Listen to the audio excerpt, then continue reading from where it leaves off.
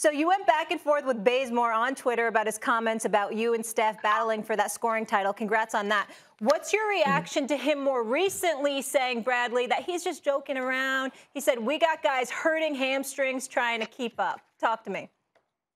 I didn't like that. That I didn't like the last part of the comment. Uh, the first half of it about what Steph was doing was I'm I'm with you. Uh, 49 and 29 minutes is I think everybody in here can agree that that's remarkable and yep. truly amazing, right? So nobody's arguing that. Uh, but I didn't mention you. I didn't. I, my hamstrings have nothing to do with why I go out there and play the game. And for me to injure my hamstring and then you kind of make a joke about it, I don't. I don't take that too fondly, honestly, um, because I take pride in being somebody who my first four years, I was always labeled as an injury prone guy. I was always labeled as somebody who couldn't stay on the floor.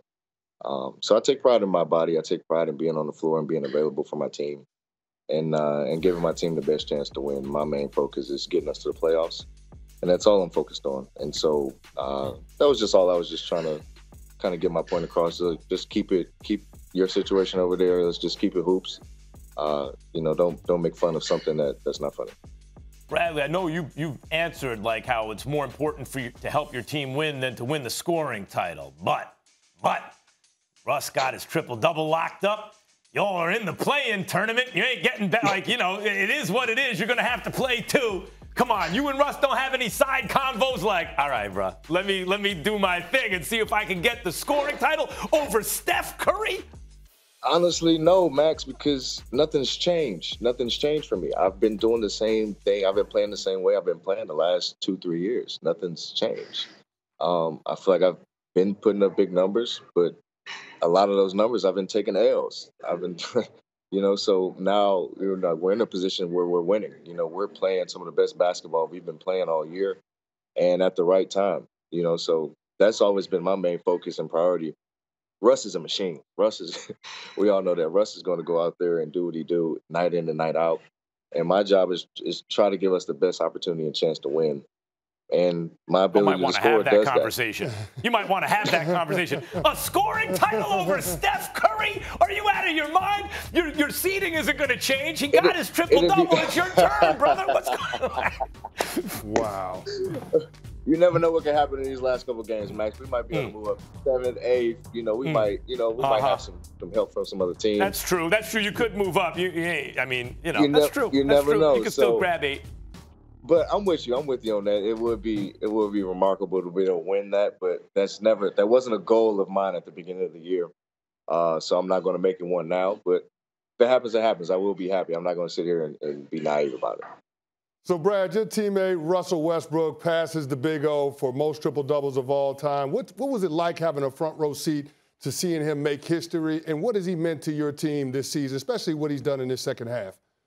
Well, I'll start with what he meant, uh, what he means to our team, man. He's, man, heart and soul, you know, because it was always the misconception of Russ, um, you know, and how he is as a teammate, how he is as a person, how he responds to coaches and things like that. And total opposite. You know, he's all about the team. He's all about winning. He's all about getting better, um, and he's all about pulling his teammates up and trying to get the best out of everybody. And I think that's something that's helped me this year. You know, and seeing his mentality and his approach to the game, night in and night out. He's an MVP. You know, he's a first ballot Hall of Famer. And, you know, now he holds the record for most triple doubles in the league. And to sit there, share the floor with him, and then last night to witness that it's been I, I ask him like how does he do it you know? Um, because i see him banged up i see him injured you know i see him playing through all type of stuff. And you know he's constantly putting up the numbers he's constantly giving us chances to win. And you know that's exemplary you know? I, I take pride in that and, and his work ethic and his approach to the game. And it's just a trickle down effect to the rest of us. Bradley uh, when you guys got when the trade was made it's like oh hold up Russell Westbrook and Bradley Beal on the same team, I was sitting here saying that's an elite backcourt. There's no Steph and Klay. What's the best, best backcourt going to be? Because there was no guarantee Kyrie and Harden would play well together or that you two would, right? We have to wait right. to see how this would shake out.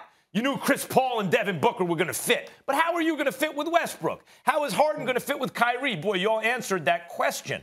But my question to you about both of you and your team's performance this year is why did it take so long for you for Bradley Beal and Russell Westbrook to figure out how to lead the team to wins together?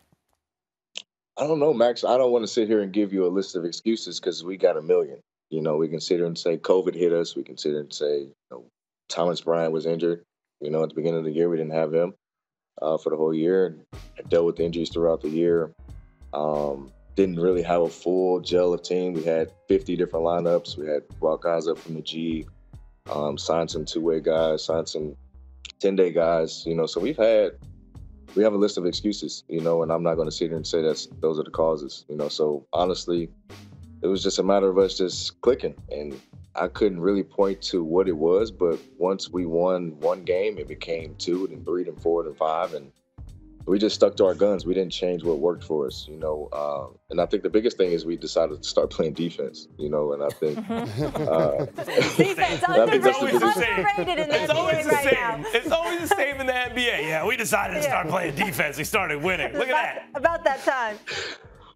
Uh, yeah. So I guess you know it's it was just a it was just the right time, you know, right before the playoffs. Obviously, we we wanted to give ourselves a chance. Coach Brooks actually broke it down right after all Star break and kind of broke them down in a series of fives. You know, our games of series of five, and let's just approach it that way and and we try to win each series, get three out of five, and we've been doing that. We've averaged, I think it's like three point three point three wins or whatever it is. So Wow.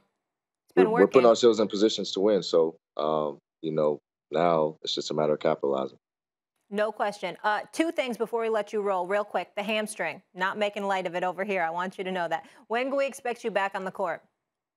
Uh, soon, hopefully. Um, Okay. I know it's, it's not not too serious, uh, which is a blessing um, because I know how strenuous these these injuries can be, and I know how you know scary, and you can easily tweak it again or possibly compensate on the other side. I've seen it all, I hear it all, so um, I'm definitely going to be a little cautious with it, but at the same time, I understand that you know playoffs are right here, so I'm definitely working my tail off to get back. I'll miss the you know the game tomorrow here in Atlanta, but uh, be reevaluated on Friday, and we'll see where we go from there.